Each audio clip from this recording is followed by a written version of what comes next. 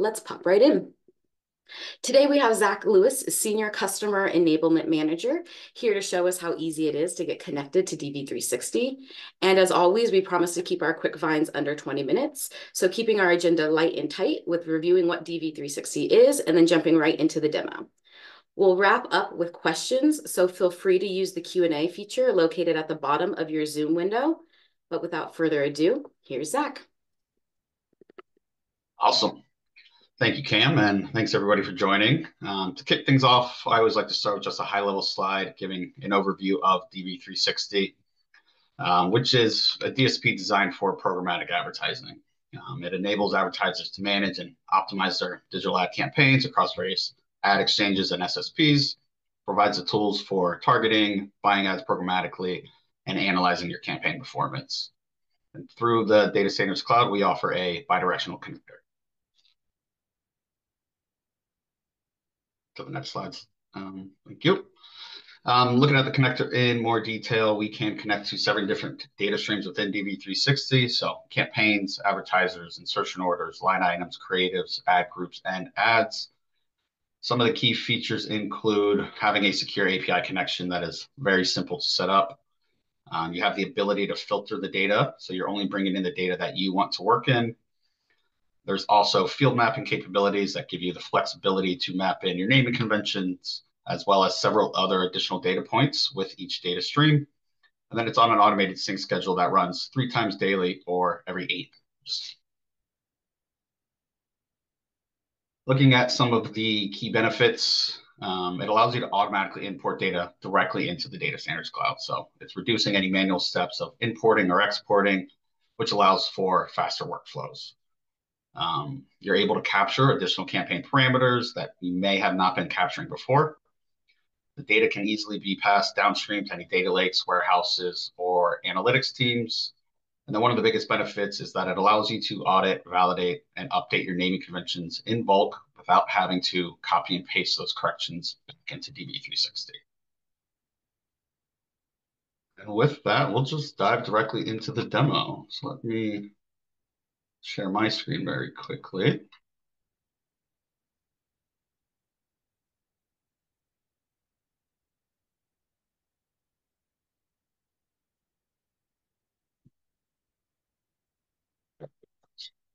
um, awesome. So there's four main topics I wanted to talk through today. We'll start with why is this important?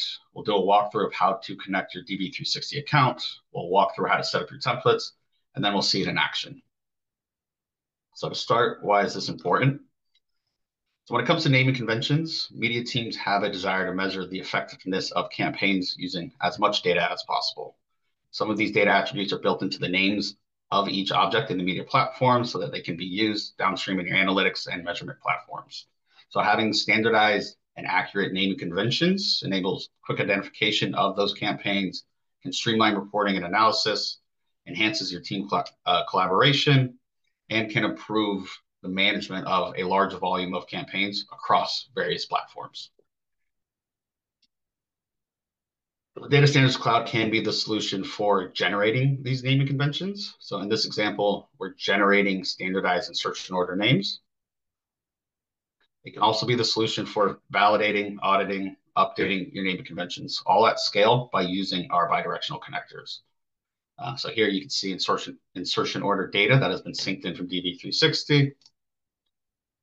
This template is configured to use our split and extract functionality. So on the inbound insertion order names, it's splitting on a delimiter, which is the underscore in this case.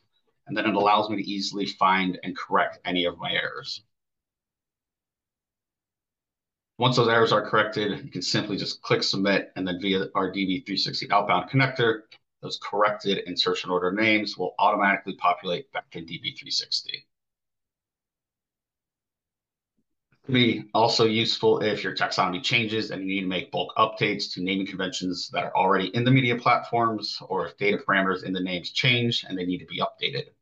Uh, example being you need to add a net new parameter to your taxonomy, or something like flight dates change that are part of your taxonomy, and they and those need to be updated.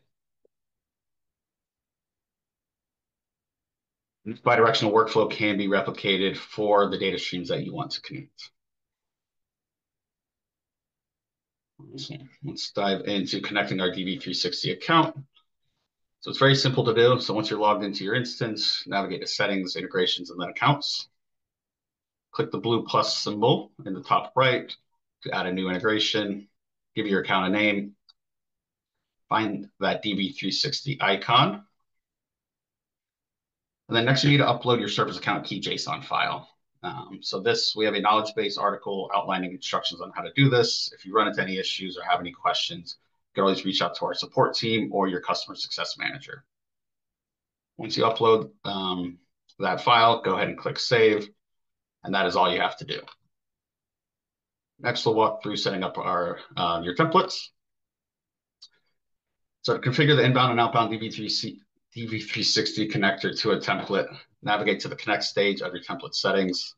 We're going to go ahead and click the green plus symbol to add a new inbound connector. Find that DV360 inbound icon, and then select our account. So this is what we just connected in the previous stage, followed by the data stream you want to uh, sync data in from. For this example, we'll go ahead and stick with insertion orders going to be automatically set to sync every eight hours. And then under integration filters, I can select my start date, partner, and apply any additional filters that I may need. Next, configure your inbound field mappings. So you're mapping a data point in DV360 to a field in your Claravine template. So I have insertion order ID from DV360 mapped to insertion order ID field in my template, insertion order name to insertion order name, and so forth. Um, there are additional metadata points that live in DV360 that can sync in with each data stream. Good example here being my insertion order status and my insertion order type. That your inbound configuration is complete. So we'll go ahead and configure the outbound by selecting that green plus symbol again. Find the DV360 outbound, outbound icon. Select that same account that we selected previously and then your data stream. This again should be the same data stream that you selected for your inbound. Next, configure your outbound field mappings. There's two required fields being advertiser ID and insertion order ID at the insertion order level. Um, and then the big one's going to be the insertion order corrected. So that is me reconcatenating, reconcatenating my insertion order name into, with all the correct values and mapping that to the insertion order name in DV360. Go ahead and click save once you have all that configured. Then upon, upon saving, data is going to automatically begin to sync in from DV360. Again, these steps can be replicated for each of the data streams that you want to connect. Next, let's see it in action. So from the pending tab, I'm able to see all of my inbound insertion order data that's been synced in from DV360. I can see my errors highlighted in red. I can make any updates and correct any errors. For this demo, I went ahead and updated the brand field, say DV360 bidirectional. My updated and corrected insertion order names can be found at the end of the template. Again, this is the field that we have mapped outbound into my insertion order name field in DV360. Click submit, the data is going to automatically begin to process. And then as soon as the processing is complete, the updated insertion order names are automatically populated back in DV360. And then once again, this workflow can be replicated across all of Claravine's bidirectional connectors. So Meta Ads, Snapchat, TikTok, and GCM. Thank you for joining today's Quick Vine. Back to you, Cam.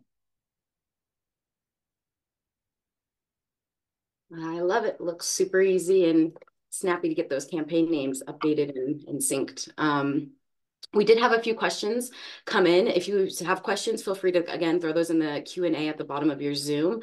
Um, but the first question that came in was, what are the steps if I want to implement this for my team?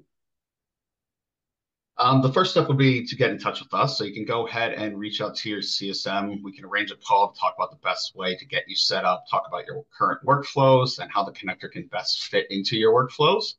Um, so I'd say that's the first step. If you're unsure who your CSM is, feel free to reach out to support at Claravine and they can definitely assist you. Lovely.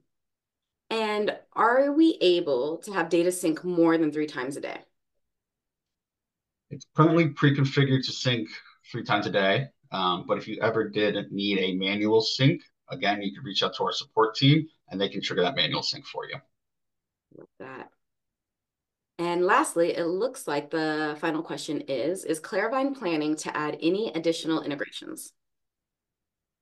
Uh, short answer is yes. Uh, we currently offer bidirectional connectors to Meta Ads, Snapchat, TikTok, GCM, and DV360. Um, we also have inbound connectors to Pinterest, Google, um, Google Ads, and Amazon Ads. Uh, there will be enhancements to current integrations as well as new integrations coming down the pipeline. Um, but if there is a specific platform that you wish Claravine could integrate with, um, I would definitely recommend reaching out to your CSM um, so they can pass that information along to our product and engineering teams. Love it. Super easy. Last question is, will this video be made available to share with our teams? Absolutely. I will be sending out an email with the recording and this presentation within the next 24 hours. So keep your eyes peeled for that. Otherwise, thank you all for joining today's Quickvine. That is everything we have for you today, and we will be sure to follow up with those resources. Thank you and have a good one. Bye. Everybody.